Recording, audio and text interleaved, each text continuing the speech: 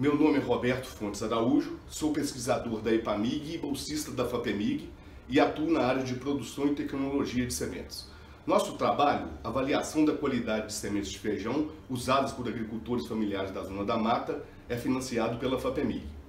Num trabalho conjunto e participativo da pesquisa, da extensão e de agricultores familiares da Zona da Mata, a meta principal com este projeto é a de melhorar a qualidade fisiológica e sanitária das sementes produzidas e usadas por esses pequenos agricultores.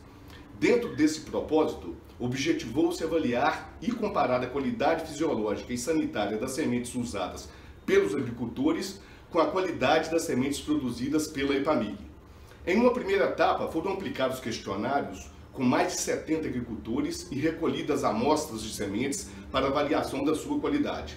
Apenas dois agricultores usam sementes comerciais, uma taxa de utilização de 2,8%, bem inferior da brasileira, que já é baixa de 19%.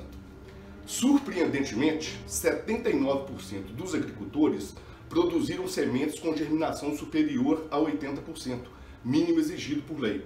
Entretanto, o vigor das sementes estavam comprometidos. Apenas 19% dos agricultores produziram sementes com vigor e sanidade semelhantes aos das sementes produzidas pela EPAMIG.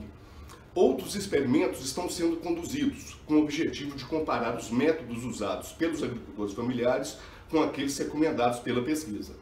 Até então, verificamos que, para o cultivo de outono e inverno, época ideal para a produção de sementes na região, e utilizando-se colheita e debulha manuais, não houve efeito imediato de época de colheita na qualidade fisiológica de sementes de três cultivares de feijão.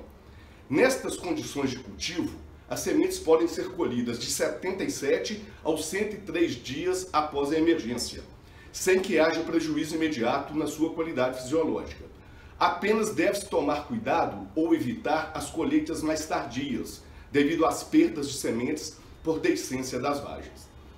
Também não houve efeito imediato de métodos de secagem na germinação e vigor das sementes das três cultivares de feijão estudadas.